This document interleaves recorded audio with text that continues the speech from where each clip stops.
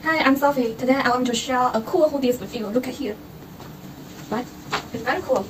These hoodies uh, have the camouflage pattern. You can see. Camouflage pattern. And the side also have this pattern. And there is also a big logo on the center front. This is the printing logo. Uh, you also can change it as the embroidery logo. It depends on the idea. And this uh, camouflage uh, hoodies is suitable for the teenagers. And you can see that it's a hook on the tops. I think uh, many young men will like this one. The hole is very nice and it's uh, very comfortable, touch very soft. It's, it's suitable for you to do some sports or do some leisure uh, activities. You can see the back.